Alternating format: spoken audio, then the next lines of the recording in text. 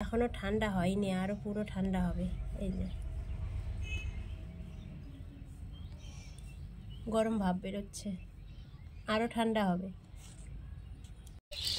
বন্ধুরা, এখন আমি ধান সিদ্ধ করছি।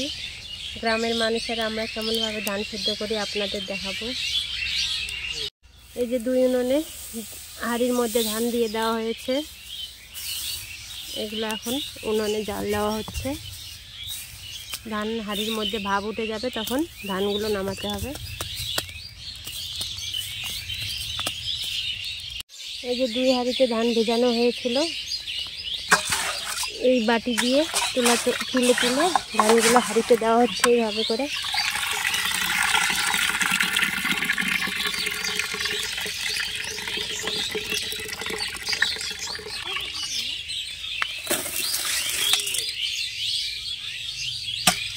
দুই দিন ভিজিয়ে রাখা হয়েছিল, এখন সেদ্ধ করা হচ্ছে। কেক বানানোর জন্য বসে গেছি। আজকে আমি বাড়িতে বাটি কেক বানাবো। আপনারা পুরো ভিডিওটা দেখতে থাকুন, খুব ভালো লাগবে। সামনেই পঁচিশে ডিসেম্বর আছে। আপনারা অবশ্যই বাড়িতে বানিয়ে খাবেন, খুব ভালো লাগবে। কেক বানানোর জন্য এখানে আমি এক বাটি দুধ নিয়ে নিয়েছি। চিনি গুঁড়ো করে নিয়েছি, দুটো ডিম নিয়েছি, বেকিং পাউডার, বেকিং সোডা আর সাদা তেল লাগবে। আপনারা বন্ধুরা পুরো ভিডিওটা দেখতে থাকুন কেক বানানোর সময় অবশ্যই একটা বাটি বা কাপ মাপ করে নেবেন, তাহলে খুব সুন্দর হয় কেকটা। এক বাটি বাটি দিয়ে আমি সব কিছু মাপ করে নেব, এই এক বাটি দুধ নেব।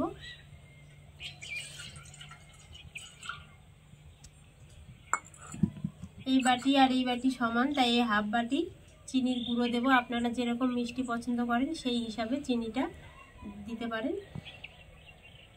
এখানে চিনিটা গুঁড়ো করে নিয়েছি, তাহলে তাড়াতাড়ি গলে যাবে। যে বাটি দিয়ে দুধ নিয়েছি, এক বাটি, সেই বাটিটি হাফ বাটি চিনির গুঁড়ো নিয়ে নিচ্ছি।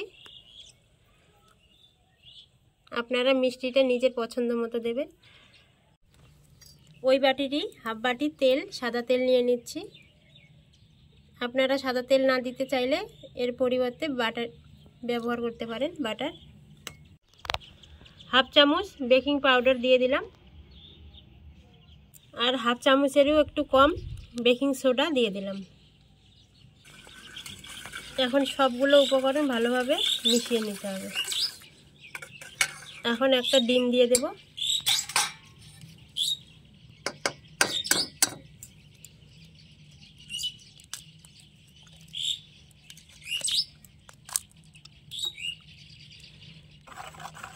এগুলো একটু আগে মিশিয়ে নিই, তারপরে ময়দা দেব।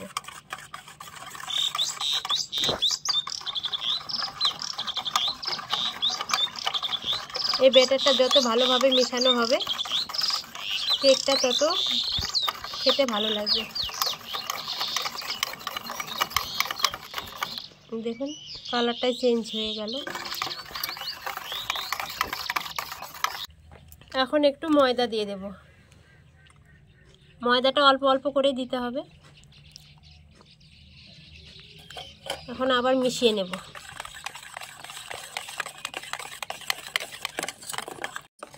বেটারটা পাতলা আছে আরও একটু ময়দা দিতে হবে।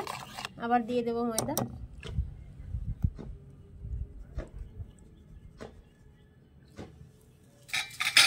এবার ভালোভাবে মিশিয়ে নেব।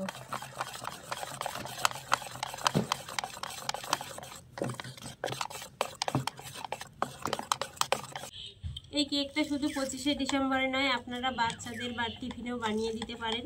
আবার গরম গরম চায়ের সাথে বিকেলবেলা খেতে পারেন। অনেকক্ষণ ধরেই ফেটাচ্ছি। পনেরো কুড়ি মিনিট হয়ে গেল, এখন কেকটা বানিয়ে নেব।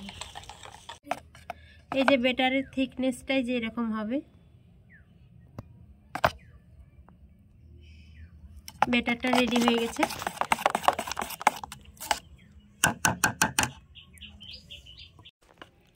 বেটারটা ভালোভাবে সব কিছু মেশানো হয়ে গেছে। এখন একটু ভ্যানিলা এসেস দিয়ে দেব।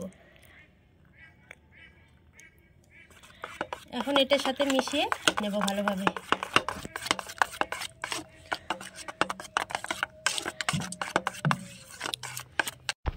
এই বেটারটা যত ফেটানো হবে, তত কেকটা কিন্তু স্পঞ্জি হবে আর নরম তুলতুলে হবে। বেটারটা রেডি হয়ে গেছে। এখন এই তিনটে বাটি নিয়েছি, এই বাটিগুলোতে সাদা তেল মাখিয়ে নেব। একটু করে তেল দিয়ে মাখিয়ে নেব বাটিগুলোকে।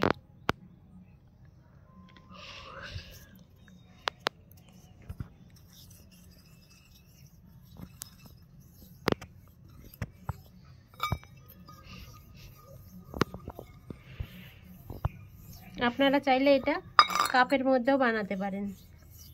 আমরা যে কাপে চা খাই, সে কাপেও কিন্তু হবে।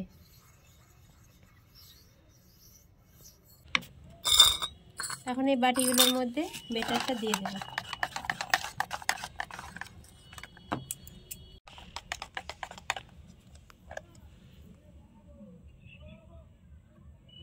পুরো বাটি দিতে হবে না, হাফ বাটি করে দিতে হবে।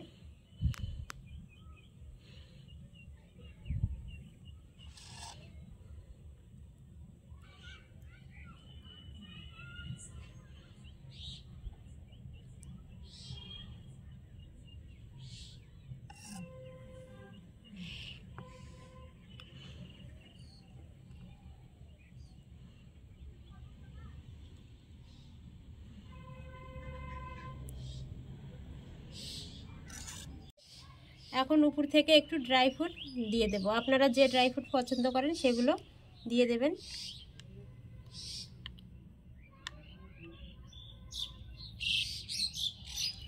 এখানে আমি বাদাম দিচ্ছি।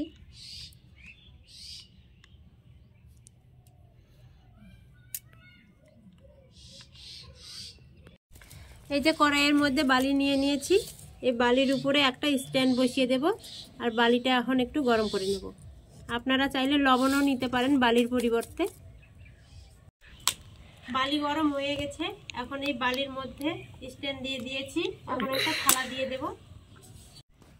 এরকম ছিদ্রযুক্ত যদি থালা না থাকে, এমনি ভাত খাওয়ার থালাতেও হবে।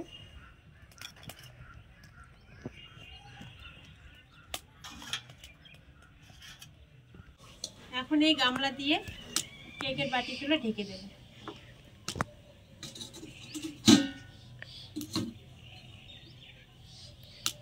এখন পনেরো কুড়ি মিনিট পর দেখব যে কেক কি হয়েছে। গরম গরম চায়ের সাথে কেক খাব ঢাকনা তুলে নিয়েছি। দেখুন কেকগুলো ফুলে কত বড় বড় হয়ে গেছে, বাটিগুলো ভরে গেছে। এখন একটা কাটি দিয়ে দেখব। এই যে কাটিতে একটুকু জড়ায়নি, তার মানে কেক হয়ে গেছে। এখন নামিয়ে ঠান্ডা করে নেব। বন্ধুরা, এই চামচের সাহায্যে এখন কেকগুলো তুলে নেব। এই যে বন্ধুরা, দেখুন কত সুন্দর কেকটা হয়েছে। এই যে স্পঞ্জি কতটা।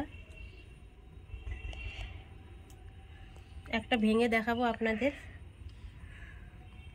এই যে আমাদের কেক। একটা কেক ভেঙে দেখাবো। এখনও ঠান্ডা হয়নি, আরও পুরো ঠান্ডা হবে। এই যে। গরম ভাব বেরোচ্ছে। আরও ঠান্ডা হবে। ভাঙাটাই খাও ভেঙে দেখালাম যেটা। না ভালোটা খেতে হবে।